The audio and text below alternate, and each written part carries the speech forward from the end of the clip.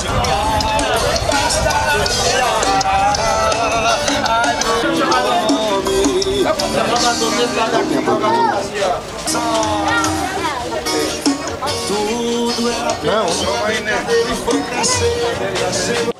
vai, tá ficar, vai ficar famoso, isso pode. Aí sai aí no bloco com Eu cada uma bocada, velho.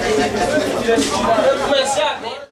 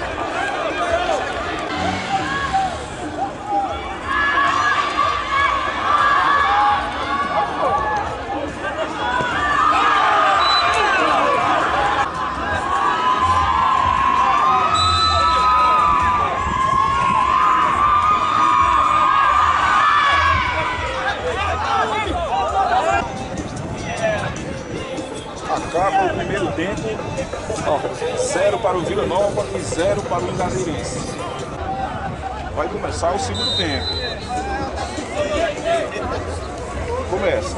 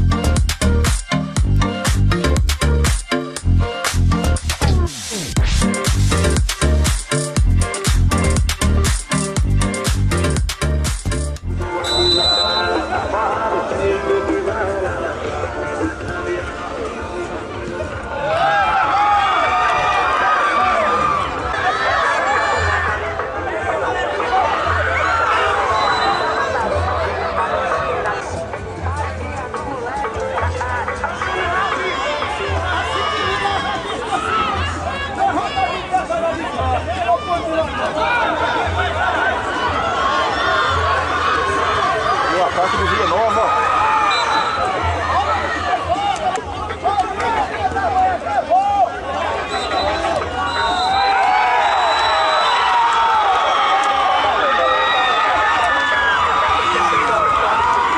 E acaba o jogo, viu?